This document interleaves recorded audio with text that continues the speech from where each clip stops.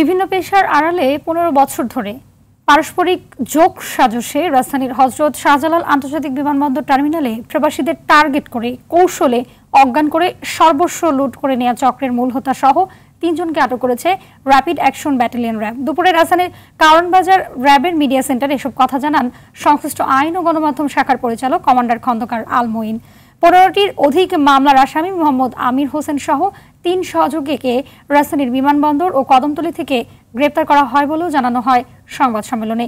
এ সময় লুটকৃত স্বর্ণ, মোবাইল ও অজ্ঞান করার সরঞ্জাম উদ্ধার করা হয়।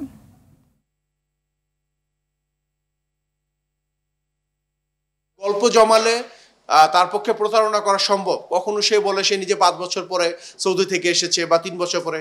সে এইভাবেই নিয়মিত প্রতারণা করে আসছিল। তবে তারা প্রতারণা করে মাইক্রোবাসে উঠান এবং পথিমধ্যে চেতনানাশক, ঔষধ মিশ্রিত, বিস্কিট বা ক্রিমরোল খাইয়ে তাদেরকে অচেতন করে তাদের সর্বস্ব লুট করেন।